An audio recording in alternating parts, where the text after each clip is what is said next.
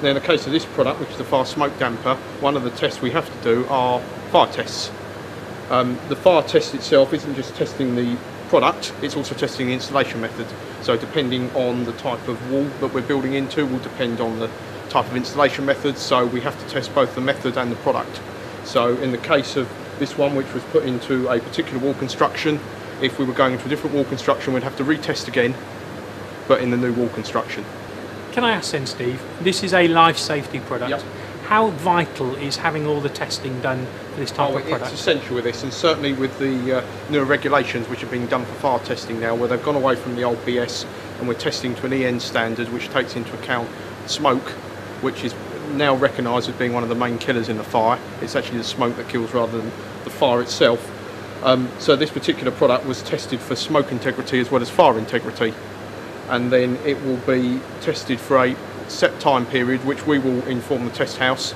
Um, we ran this one for two hours um, and then they will then produce a report whether depending on whether the product passed or failed. Um, to give you some idea, this one, by the time it reached its two hours, the temperature inside the furnace was just over 1100 degrees centigrade. So what we can see is obviously deformation on the, the blades on the damper because obviously as the furnace starts getting to that temperature, these start getting very soft and the vacuum that's created, that's being put on it to simulate smoke and the fan condition actually causes the blades to move under that condition. The guide specifies a comprehensive list of technical information that the system designer should give to the damper installation company. This list includes the damper manufacturer's data sheets and illustrated drawings, dimensions, test data, sketches and any other technical information that needs to be included for the specific application. It is becoming increasingly difficult with the new European Standard 1366 to do assessments on installations that have not been tested. Due to this being a fairly new test, no manufacturer has significant amounts of test data to allow the test house to make an assessment in an application that hasn't previously been used. It is important to get these assessments and approvals correct up front. After the event is both costly and timely. A successful compliant damper installation is dependent on three key factors. The system designer shall include project-specific sketches. These project-specific sketches are to include all the damper manufacturer's third-party tested data. Details of what should be included are in the appendix of DW145. It is also necessary for the principal contractor to create an installation schedule, making sure that all factors are taken into account and detailing all the trades that will be used in fitting of the damper, from the initial installation of the damper by the ductwork contractor to the barrier wall and then the seal penetrations. For a cost-effective and successful installation, it has to be recognised that issues can occur on site during the project. It is important that these are addressed by the team. We would like to think that the CDM coordinator will take charge of effectively dealing with this. It is for the whole team to come up with a solution that needs to be presented to the building control officer and signed off before this proceeds. This will involve detailing new project sketches and working with damper manufacturer, damper installation and barrier element contractors. Damper manufacturers are not approved to and cannot give approval on a damper installation after the event. We need to take this to the third party independent body and have their acceptance before we can offer this to the building control officer.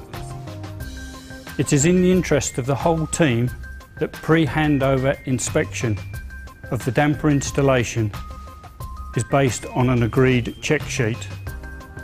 Whilst this is guidance in DW145, this will become very important when the CE marking comes into place in July 2013. It is also important not just to consider the installation but also access to the damper for future testing. The regulatory reform fire safety order came into effect in October 2006 and actually replaced 70 different fire safety laws. It applies to all non-domestic buildings in Wales and England and puts a responsibility on the business owner for the fire safety. It's important that he does a risk assessment and also has a planned maintenance for all the fire safety in the building. The needs of the building owner are changing. At handover, he requires both the installation and commissioning details to future testing and inspection procedures. Therefore, careful consideration needs to be given early on in the design stage of the building. Unfortunately, there appears to be a lack of awareness amongst the building owners and many of the fire risk assessors in regards to the ventilation system, the fire and smoke procedure and the fire strategy. In the past, risk assessments have looked at some of the more basic items such as signage, fire extinguishers and fire doors. But a recent report which is now available has shown that the FSO is looking more at the detail of the fire safety system from a ventilation point of view. Even to the point of where some business owners and also risk assessors have ended up going to court or even going to jail because they've not completed any assessments of the smoke control system.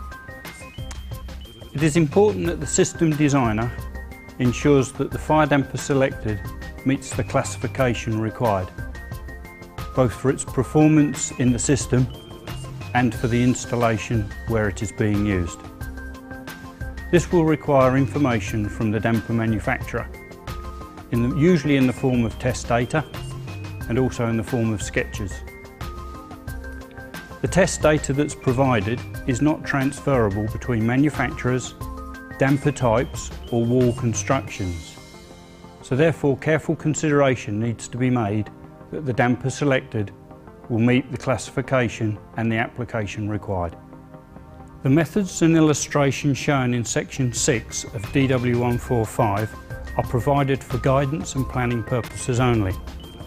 The project-specific sketches in the system design showing the installation will override those in DW145.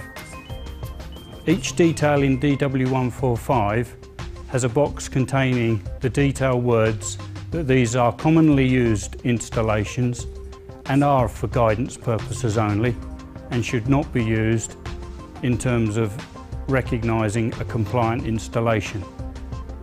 Each detail will need to be supported by the damper manufacturer's test report. This is what might be happening if your damper has not been correctly specified and installed to the manufacturer's data. As we can see, the damper is not in the plane of the wall and is going through an I-beam. It is highly unlikely that this type of installation has been tested. We can also see that we now have a damper where the infill is with a batt infill.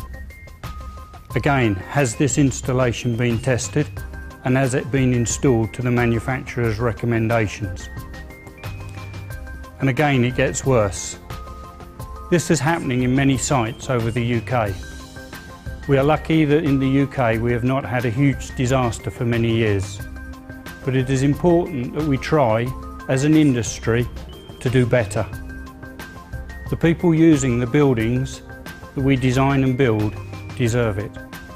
So in conclusion, DW145 is a guide to good practice and not a specification, and therefore feedback from the industry will be key to its success. Technical information is to be provided by the system designer to the damper installation coordinator. The use of third-party tested dampers and installations which suit the application is most important. The design, installation and inspection handover check sheets are good practice now and will become a real requirement from July 2013 when CE marking comes into force. The big success of DW145 is not just that it has been prepared by the HVCA, but that it has been endorsed by all industry associations. This is our industry recognising we have to do better.